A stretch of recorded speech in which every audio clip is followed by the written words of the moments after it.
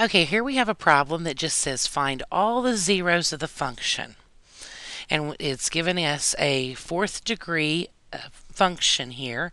So that tells us that we have to have four zeros. So we know that. But what else do we know? Well, we know some of them might be real, some of them might be complex. They might all be complex. But you know, probably the best way to start this would be to graph it and look at it because we might get lucky and some of them would be real numbers. Generally, um, you know, in this type of a problem, you will have a mixture of real numbers and um, imaginaries. Now, let's go to the calculator and I've actually already went ahead to try and save time and put in the original function. So now I'm going to do a zoom 6 and we'll look at it. It looks like, just from visual, um, you know, inspection, that we have a zero somewhere around negative 3, and it looks like we have another one around 1. That's two real zeros which means I have two more remaining that I can't see. Those must be imaginary. Let's go back to our um, screen here. If we think that negative 3 is a 0, we can find that out very quickly and easily and I'll show you how to do that and that the, the way that's the most um, beneficial to you. I would do synthetic division with this problem. So in order to do synthetic division, we're going to take our coefficients of 1, 4, 4. We're missing the x term, so we're going to have to put in a 0, and then negative 9. I'm going to divide this by negative 3. If that is in fact a 0, we should have a 0 remainder right over here. That's going to tell us that it works. Okay, so if I drop my first term of 1, multiply diagonally, add up and down.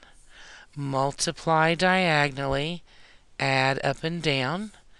Multiply diagonally, add up and down. Multiply diagonally, and what do you know? It worked. Now by doing this, we have found that negative 3 is one of our zeros.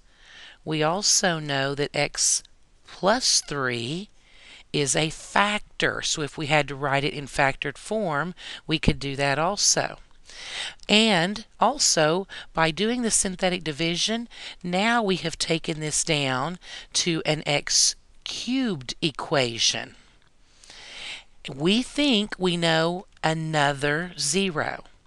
We think that maybe there's one at a positive 1 by looking at our graph. So what we can do now is take our um, kind of pared down equation of 1, 1, 1, negative 3.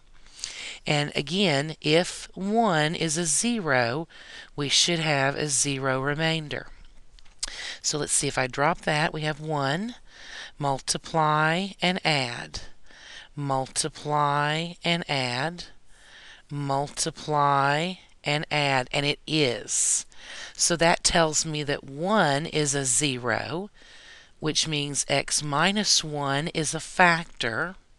And now we have pared this down to an x squared equation by doing that. Well, once you get it down to an x squared equation, it's very nice because now we can use the quadratic formula. We might be able to factor this, but um, in this case, I don't think we're going to be able to.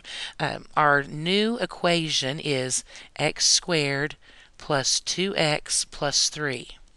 Now see that won't factor nicely so we're going to have to use the quadratic formula which is that x equals negative b plus or minus the square root of b squared minus 4ac all over 2a. Remember, you can find any um, solutions to quadratics by using this. So we're going to plug in what we know. I'm going to move my screen up so we can see. That's going to be x equals, the opposite of b would be negative 2 plus or minus the square root of b squared would be 2 squared would be